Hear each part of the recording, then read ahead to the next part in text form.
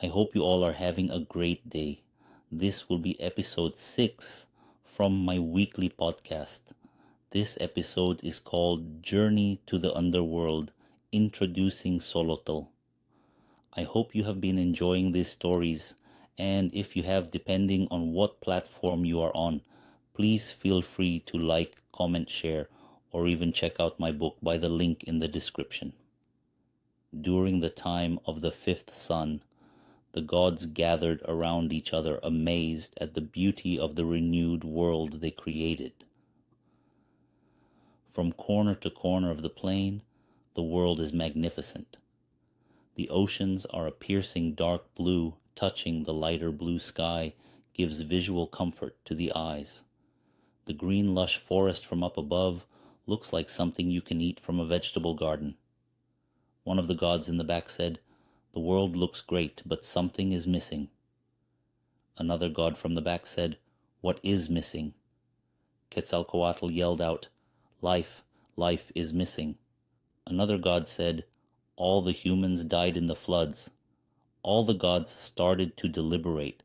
The gods wanted to have people inhabit the world. They wanted people to worship them. They needed people to run the world.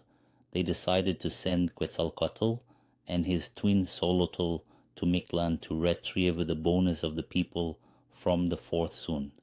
Mictlan is the underworld and the place of the deed. Xolotl is Quetzalcoatl's twin. He is a dog-like creature who helps guide the sun and every being creature to the underworld. Xolotl said, I am the evening star, and I lead the sun every night to die in the underworld. So I know the way. Quetzalcoatl exclaimed after, I am the morning star, and I lead the sun to be reborn every day, so I know the path to get out of the underworld. Quetzalcoatl followed Xolotl, and Xolotl followed the sun's path to the underworld. They had to travel through the nine levels of the underworld.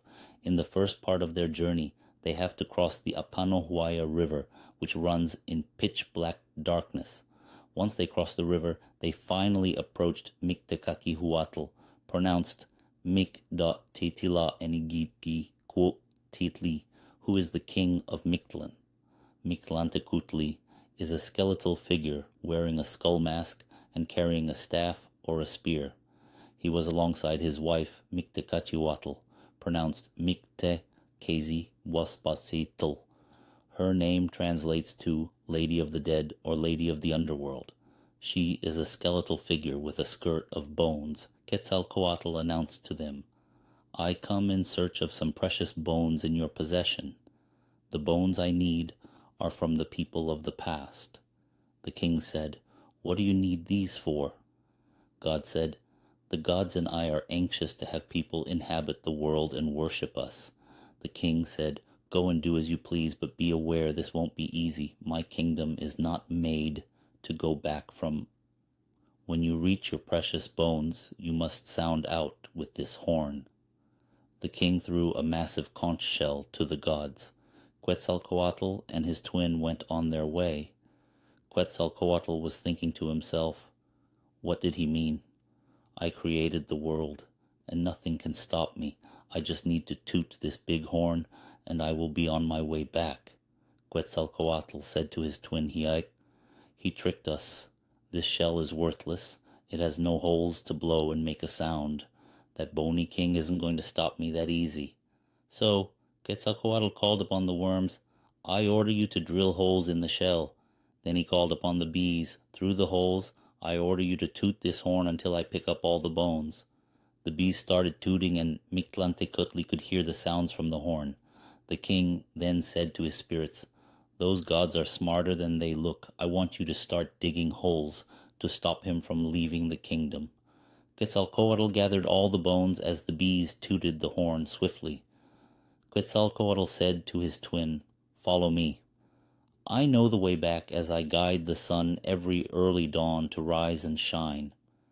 Swiftly the gods made their way back. While running back, Quetzalcoatl tripped and fell into one of the recently dug holes.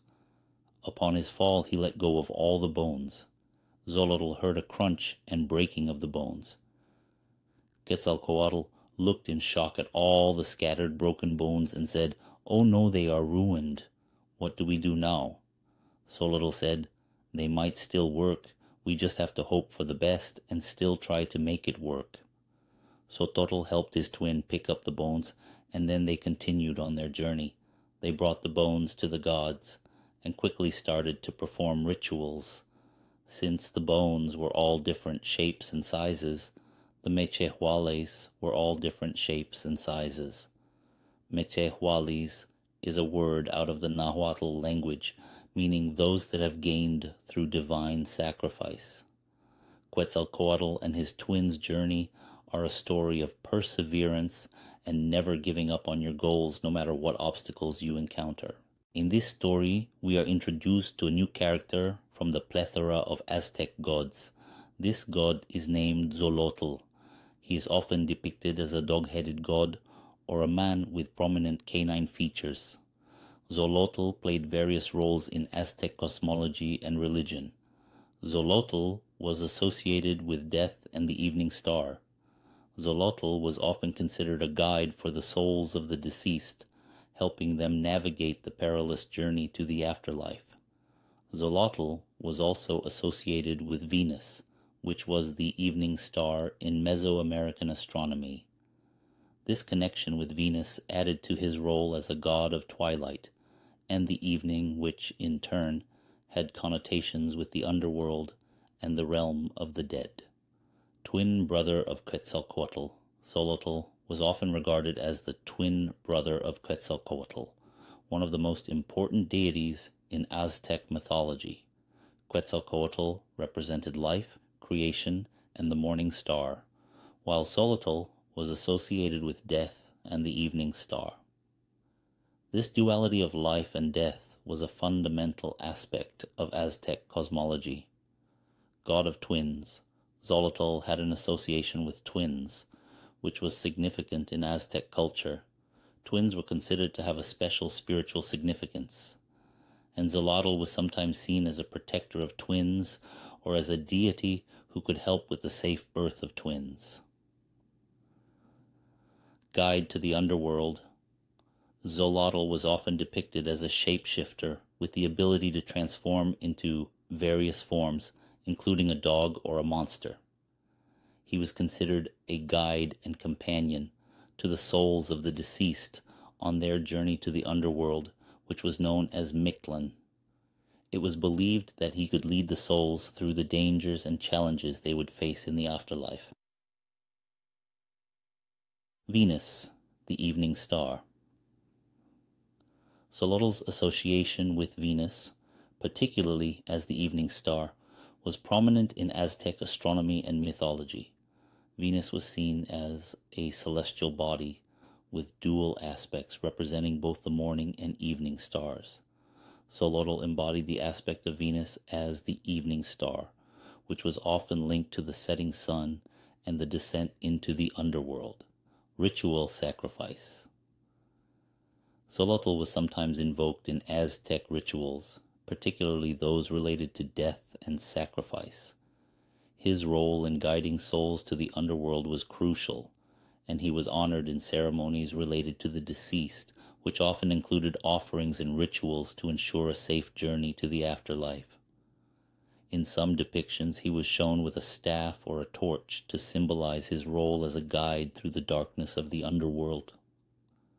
Regional variations. It's important to note that there were regional variations in the worship and interpretation of Xolotl as the Aztec civilization encompassed different regions and city states, each with its own religious practices and beliefs.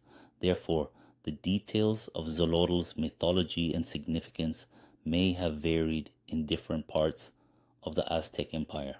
Xolotl had a complex and multifaceted character, and his symbolism and significance in Aztec mythology evolved over time. He was both a deity of transformation and a guardian of souls, and his role in mythology reflected the Aztec worldview, where life and death were interconnected and cyclical. I hope you have been enjoying these stories And if you have, depending on what platform you are on, please feel free to like, comment, share, or even check out my book by the link in the description.